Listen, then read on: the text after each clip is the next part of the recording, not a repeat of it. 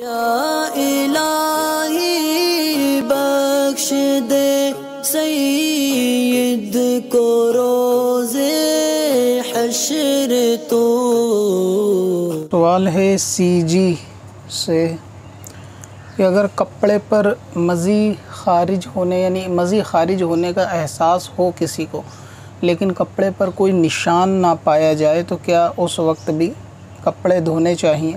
یعنی سفید کوئی نشان کپڑے پر موجود نہیں ہے مزی خارج ہونے کا، لیکن احساس ہے تو کیا کپڑے کو دھونا چاہیے، جبکہ اس پہ کوئی نہ نشان دکھ رہا، نہ کوئی ایسا سفید داغ ہے کہ جس سے پتہ چلے کہ مزی کہاں پر لگی ہے۔ اور دوسرا یہ کہ اگر کسی نے اسی طرح نماز پڑھ لی، بغیر کپڑے پہ، کپڑے کو دھوئے، اور پھر بعد میں اس کو، نماز کے بعد اس کو نشان نظر آ گیا تو ایسی صورت میں کیا کرنا چاہیے؟ سب سے پہلے تو یہ کہ مزی جو ہے وہ وضو کو توڑ دیتی ہے۔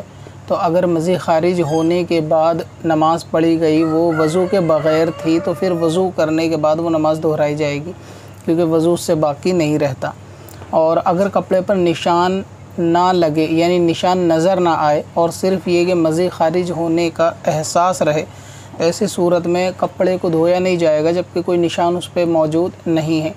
لیکن بعد میں اگر نشان نظر آ جاتا ہے تو پھر یہ دیکھا جائے گا کہ اس کی نشان کی جو ہے وہ مقدار کتنی ہے۔ اگر وہ ایک درہم یا اس سے زیادہ ہے، تو پھر اس نماز کو واپس دہرایا جائے گا۔ اور اگر یہ کہ وہ ایک درہم سے کم ہے، تو پھر اس نماز کو دہرانا بہتر ہے یعنی سنت ہے۔ اور اور درہم سے، درہم کے اگر برابر ہے، تو پھر واجب ہے، اور درہم سے زیادہ ہے، تو نماز کو دہرانا فرض ہے۔ تو بعد میں نماز کے بعد جو مزید دکھی ہے، اس کا نشان دیکھا جائے کہ وہ کتنا بڑا ہے۔ یعنی اگر بہت چھوٹا ہے، معمولی سا داغ ہے تو اس صورت میں نماز ہو جائے گی، مگر اگر دہرا لے تو بہتر ہے، ضروری نہیں ہے۔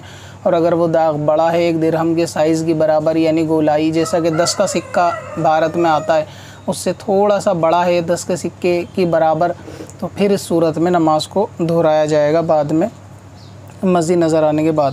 اور منی اور مزی کسے کہتے ہیں، اس کے تعلق سے میں نے ایک ویڈیو آلریڈی بنائی ہوئی ہے۔ اگر آپ یوٹیوب پہ سرچ کریں، سکندر وارسی اباؤٹ منی، مزی، تو آپ کو وہ ویڈیو مل جائے گی۔ اس میں تفصیل اور بھی موجود ہے کہ مزی سے کیا احکام ہے مزی کے منی کیا ہوتی ہے، اس کے کیا احکام ہے تو اس ویڈیو کو بھی ضرور جو ہے وہ دیکھنا چاہیے۔ کب سے اپنی خطاؤں کا شمارا جائے گا۔